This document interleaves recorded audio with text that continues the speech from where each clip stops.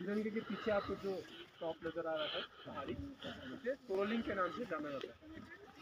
Indian army द्वारा सबसे पहले जीत हासिल किया गया टॉप सोलोलिंग बाईस में उन्नीस सौ निन्यानवे को ऑपरेशन लॉन्च किया गया। और तेरह जून उन्नीस सौ निन्यानवे को फिर से सोलोलिंग की चोटी पर भारत देश का तिरंगा लहराया गया।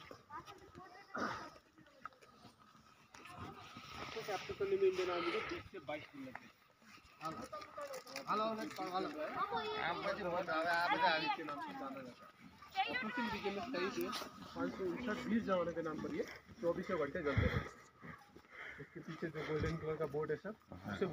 के नाम से जाना जाता है ऑपरेशन विजय में शहीद हुए पाँच सौ उनसठ बीस जवानों के नाम से अंकित किया गया वॉल ऑफ़ फेम के ऊपर उन्नीस फ्लैग को लगाया गया है सर बीच वाला लाल कलर का जो है वो इस माउंटेन बीच का है। ये जितने भी यूनिट यहाँ पर सर्व कर रहे हैं उनके रेजिमेंट का है नेशनल फ्लैग फोर की हाइट सौ फीट है सर फ्लैग का measurement thirty seven by twenty five feet है।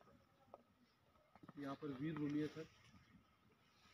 कारगिल वॉर के अलावा यहाँ पर कोई भी कोई शहीद होता है कारगिल मेमोरियल कारगिल मेमोरियल यहाँ पर कारगिल वॉर के अलावा भी नाइन्टी वन